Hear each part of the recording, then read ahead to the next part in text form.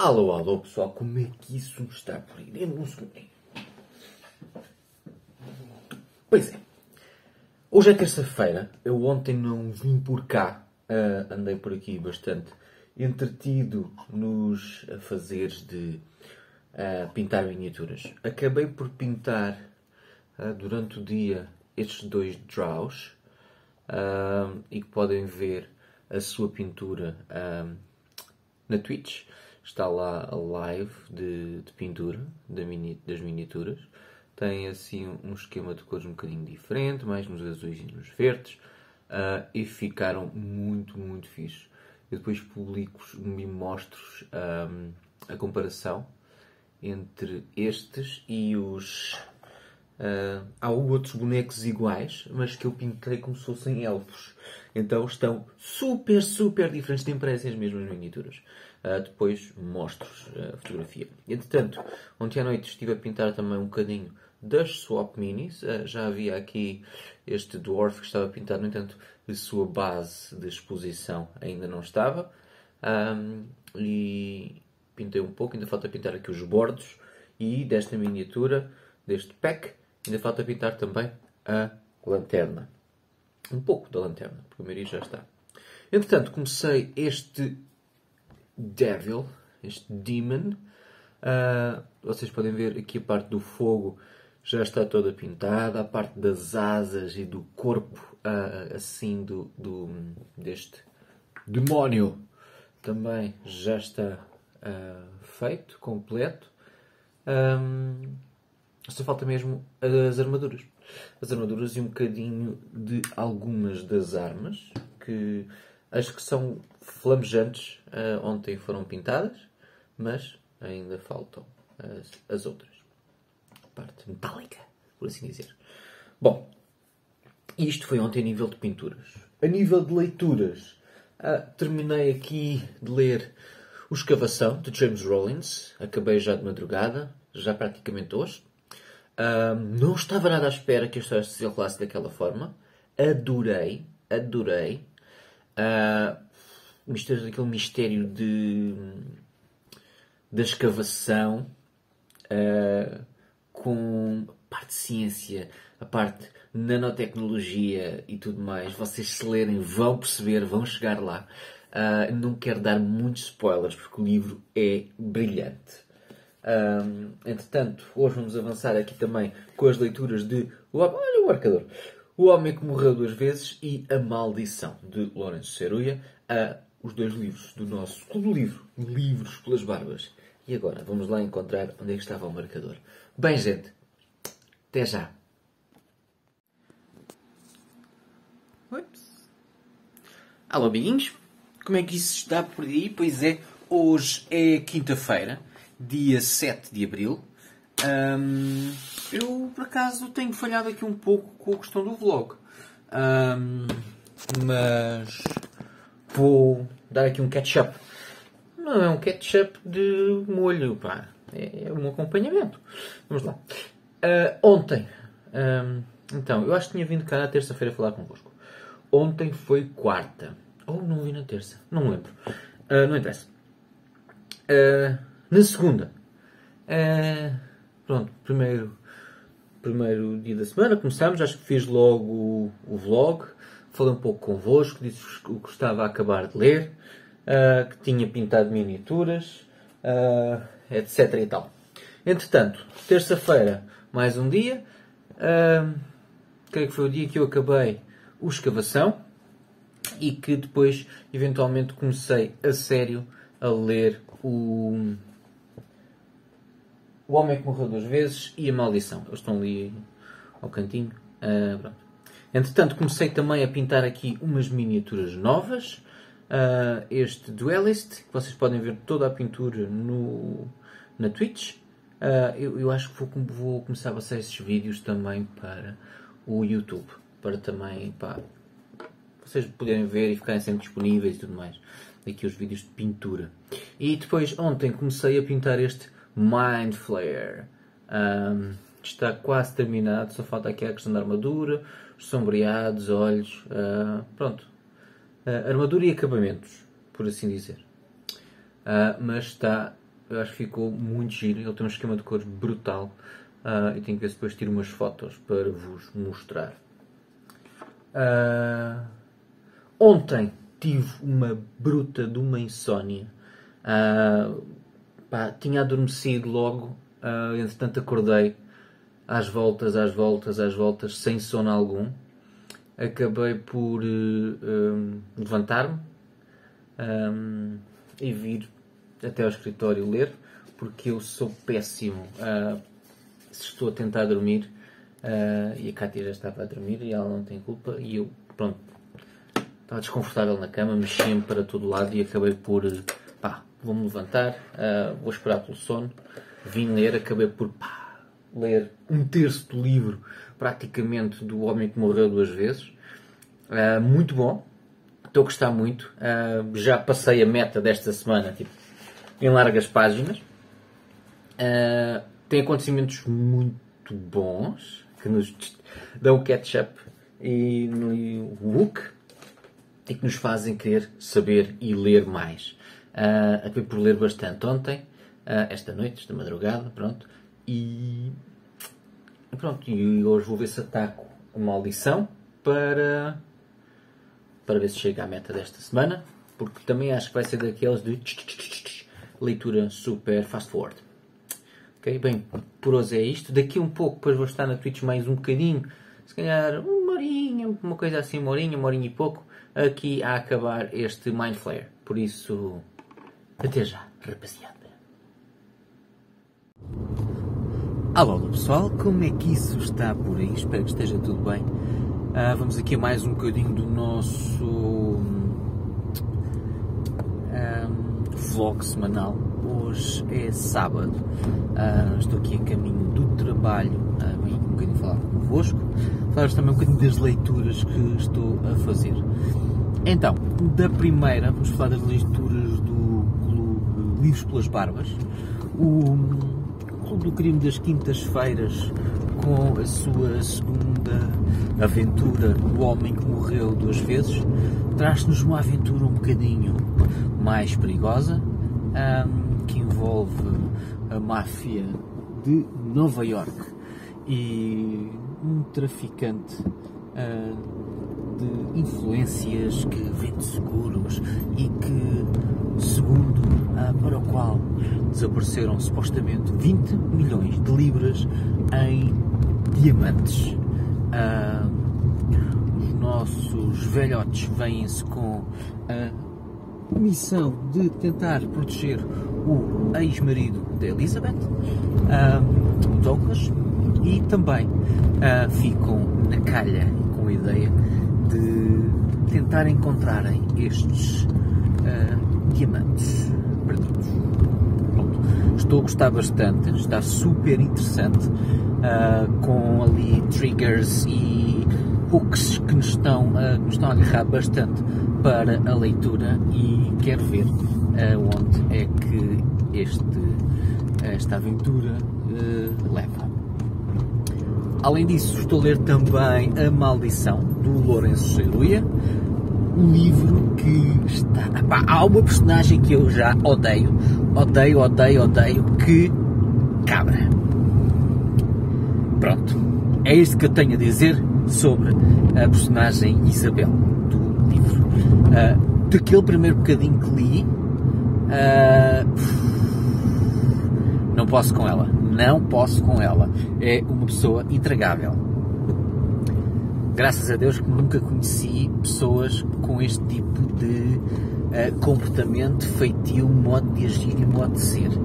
Porque acho que passava da cabeça.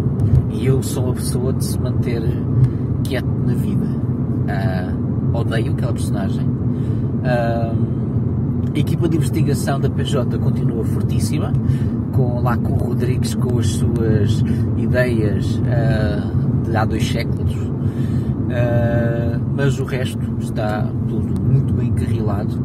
A trama, a descrição, acho que o facto do Lourenço ser ator nos dá aqui uma visão espetacular uh, do que é que é um teatro e de como é que nos comportamos no teatro, como é que é qual é que é o sentimento e mesmo a questão dos como é que ele diz de. Ah, pá. Não é. Aqueles desejos, aquelas crenças uh, próprias, aquelas tradições, aqueles hábitos que há do. Uh, não desejar boa sorte antes do espetáculo uh, e de haver todas essas. Não me vem o nome, pá eu, quando me lembrar, depois digo-vos. Uh, mas. Pronto, agora vou ficar a pensar nisto. Uh, e pronto. Todas essas sensações e essas coisas que eu não sei o nome, mas que existem uh, e que todos nós comportamos com esses pequenos rituais e essas pequenas crenças nos levam a agir segundo, segundo as mesmas e dá-nos muito essa visão também do que acontece no teatro uh, e que eu não tinha e que foi, foi giro, foi giro de, de conhecer e de saber e tudo mais. Uh, como é que é o cenógrafo, uh, o figurinista, esse tipo de ofícios que também fiquei a conhecer com esta pequena leitura. Agora vamos ver. Mais uma vez, Lourenço põe-nos no espaço fechado, uma morte e tipo, vamos lá ver quem é Uh, tenho uma suspeita. Uh, ele ainda agora morreu e eu já tenho uma suspeita. Não sei se será. Eu apostava na, na piedade, na figurinista, tentou matar a Isabel, mas que correu mal. E eles trocaram os catins. É isso que eu acho. Uh, mas vamos ver se, se, é mesmo isto ou não. Uh, entretanto, uh, o nosso concurso Lego continua a decorrer. Erradamente, eu nas últimas duas semanas partilhei convosco que a data seria 13 de Abril, acontece que era 3, e para não prejudicar quem se levou e quem leu isso e ainda não publicou a sua fotografia, ou ainda não publicou o seu conjunto de fotografias para uh, avaliação e para o concorrer, acabei por estender o prazo até dia 13. Peço desculpa a quem também já tinha uh, publicado e não querendo prejudicar quem ainda não publicou por causa desta informação errada, uh, estiquei o prazo. Uh, pronto. Uh, e acho que é isto. Acho que não tenho mais nada para dizer. As nossas leituras continuam. As discussões estão uh, ao vivo no Discord, por isso podem ir lá, pessoal, quem está uh, a participar nas leituras do mês, ir lá e discutir um bocadinho aqui de leitura. Eu vou lá também daqui a pouco uh, a ver se tenho um tempinho para publicar lá qualquer coisa, um bocadinho da opinião aqui do, da maldição, do que eu ia falar convosco. E acho que é só. Que não tenho assim mais nada para falar convosco. Uh, mas, olha, whatever. É isto. Até já. Hello, hello, everybody. It's domingo. É domingo. E é aqui o último trechozinho do nosso vlog semanal. Pois, o que é que eu vos queria falar aqui neste bocadinho de hoje? Uh, ontem fiz aquela série de questões no Instagram sobre o que é que vocês gostavam mais aqui na página do Instagram, de se era séries, jogos, filmes, livros, Legos, Dungeons and Dragons. E obtive aqui uma série de respostas interessantes que me vai permitir aqui balancear um bocadinho o conteúdo, um, dar aqui um mix e atender aos vossos gostos e por assim mais coisas ou coisas que vocês mais gostam mais vezes uh, na página. Uh, fiquei surpreendido com alguns resultados, uh, nomeadamente uh, livros, filmes e séries, que é uma coisa que eu costumo trazer muito pouco, mas que vi que vocês gostam bastante e estão bastante interessados em, e por isso vou trazer-vos mais sobre isso. Além disso, vi que muitas poucas pessoas oh, ficou ali taco a taco nos Legos. O que é que se passa? Vocês não gostam das aventuras de Lego, Uh, provavelmente não. Se calhar não. Alguns não, outros sim. E outra coisa, foi Dungeons and Dragons já vi que muito pouca gente uh, gosta. Uh, a maioria foi, foi o, a categoria em que a maioria foi uh, resposta negativa. Um, e faz-me pensar aqui um bocadinho sobre o conteúdo uh, Dungeons and Dragons. Se calhar vou ter que reduzir um bocadinho, atendendo às vossas, aos vossos gostos. Eu também estava a fazê-lo, não o fazia muito, mas já vi que o vosso interesse é reduzido. Talvez ou dar-vos outra forma de conhecer aqui o, que é que é o Dungeons and Dragons, ou vermos aqui qualquer coisa diferente. Sobre os jogos, quando eu disse jogos, falava no geral, tanto os jogos de tabuleiro como os jogos de vídeo talvez aí uh, o tipo de respostas que houve que também foi maioritariamente positiva, mas uh, não tanto como, por exemplo, as séries e os, e os filmes ou os livros. Um, isso deixa-me pensar que se vocês fizeram um bocadinho de confusão. Eu confesso que, se for para ver conteúdo sobre jogos de tabuleiro, estou mais interessado do que para jogos de vídeo. Sobre as iniciativas do capítulo M, Uh, fiquei super contente por estarem, uh, e a maioria, uh, ser o Livros pelas Barbas, o nosso clube de leitura, que tem estado ativo já há um ano, já fez um ano, em abril, agora este mês. Foi em abril do ano passado que começámos com Quem Teme a Morte e já vamos com um ano de clube de leitura. a aventura literária também fiquei bastante contente por terem gostado. está a sair um mapa por mês com os vários desafios. por falar nisso, daqui tenho que ir buscar. Ah, não tenho impressos. Uh, os desafios para fazer para esta semana, porque comecei e ainda não, não, não avancei. Um, mais. Uh, sobre. Vi que os streams na Twitch tiveram muito, muito pouca adesão. Uh, e o podcast uh, que lançámos o ano passado, a primeira temporada, e este ano iríamos lançar a segunda, teve zero votos. É porque não gostam, é porque há muito tempo não se lança nada. fica aqui a questão para também saber o que é que se eventualmente lançamos a segunda temporada ou não. Um, pronto, sobre as rubricas, a de Dungeons and Dragons, a conspiração de Thinium, foi. Uh, emparelhou com os votos de Dungeons and Dragons, não é? Uh, teve poucos, poucos votos.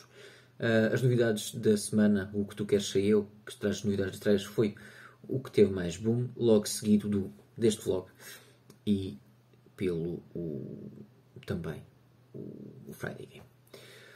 Bem, Uh, são estatísticas interessantes que me vão ajudar aqui a modificar isto um bocadinho, por isso agradeço-vos a todos mais uma vez os vossos votos e se tiverem sugestões, uh, deem as sugestões, está bem? E deem as vossas sugestões, que outros conteúdos é que querem ver, essas coisas, que é para nós trabalharmos também um bocadinho dentro do que eu gosto, uh, de encontro ao que vocês gostam também. Vamos agora aqui ao Pátio das Fontes, a segunda estação do do nosso desafio literário, uh, da nossa aventura uh, literária, e que diz o seguinte: nós no, no episódio, no, no, desafio anterior, estávamos no Jardim de Verão e que acabámos por começar a ler um policial, se não estou em erro, que foi explorar o jardim. Começa a ler um policial, exato. Já ler três policiais, uh, por isso acho que está bom. E agora, Pátio das Fontes. O caminho leva-te até um amplo pátio. Além de espaçoso, é também bastante fresco, devido às várias fontes ali existentes. Olhas em volta e várias são as construções artísticas aquáticas ali presentes, estátuas e repuxos de várias formas e feitios. Ficas maravilhado com tais construções e paras um pouco para as observar. Um rol de sabedoria. Vou tirar aqui a ficha do personagem e vamos pular e um 9. Um 9. Um, um 9 com o modificador de sabedoria fico com 13. 13, 13, 13. Raios, falhei. Um, o mínimo para, para passar era 15. Eu falhei com o 13 e diz Uh, as fontes captam mesmo a tua atenção e ficas por ali alguns minutos a circular entre elas, enquanto paras e te refrescas. Decides também aproveitar e encher o teu cantil. A beleza deste pátio é estonteante e certamente levarás este local contigo na tua mente durante muitos anos. Continuas a caminhar pelo trajeto marcado. Desafio. Tira uma fotografia com um livro junto a um local com água. Seja um rio, uma fonte, um mar, uh, na praia, um, etc. Uh, pronto, tenho que tirar uma fotografia e partilhar com o hashtag Aventuras Literárias, capítulo um, E pronto, olha, vai ser giro, vou ter que levar e passear com o livro. Anda sempre atrás, mas pronto, tenho que tirar uma fotografia. Bem, e por hoje é isto que eu tenho para vos dizer, pessoal. Continuação de um ótimo domingo e até para a semana.